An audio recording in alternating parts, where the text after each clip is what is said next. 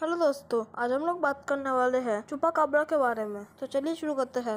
अगर आप लोगों ने सब्सक्राइब नहीं किया है तो सब्सक्राइब कीजिए। अगर वीडियो पसंद आता है तो लाइक कीजिए और कमेंट कीजिए। शेयर करना मत भूलिएगा। मार्च 1995 इस दिन को चुपाकाबरा ने अपना फ़र्स्ट हंट किया था, जो कि 150 से भी ज़्यादा गाय और बकरियों को इसने मार दिया था।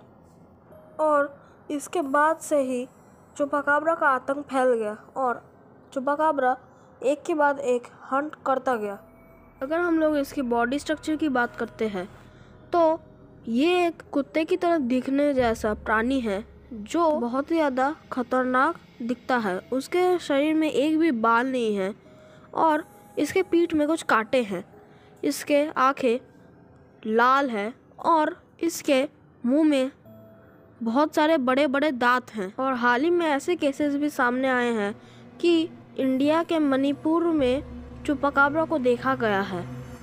दोस्तों चुपाकाबरा अपने प्रे का खून पूरी तरीके से चूस लेता है और जो भी प्राणी चुपाकाबरा के वजह से मरता है, उसके पूरे बॉडी में कहीं ना कहीं तीन होल्स होते हैं, जो कि उल्टे त्रिकोण में बनाए होते हैं।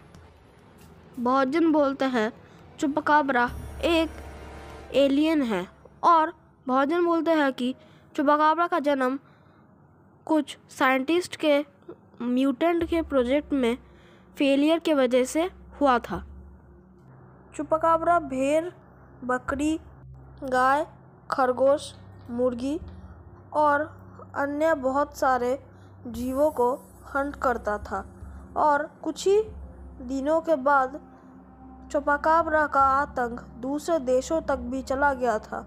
चुपाकाबरा का अटैक होने का केसेस बढ़ रहे थे। चुपाकाबरा जब थोड़ा सा फ़ेमस हो गया तब ये बहुत सारे पालतू जानवर जैसे कुत्ते बिल्लियाँ इन लोगों को भी मारने लग गया और बहुत सारे लोगों को इसी का डर हो गया कि ये जब सभी को मार सकता है तो ये तो हमें भी मार सकता है। इसलिए सभी अपने साथ कुछ ना कुछ हथियार लेके घूमते थे ताकि उनके साथ कोई हादसा ना हो जाए। पुलिस कैनियन नाम की एक औरत ने जो एक चुपाकाबरा का लाश पाया।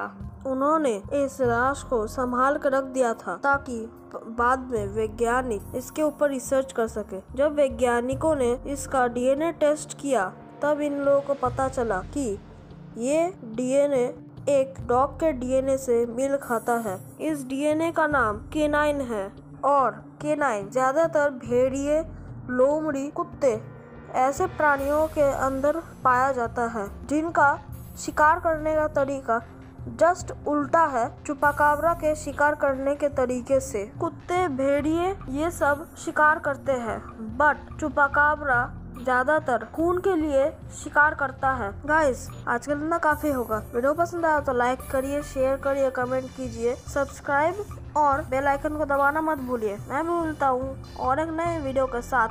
तब तक के लिए अलविदा।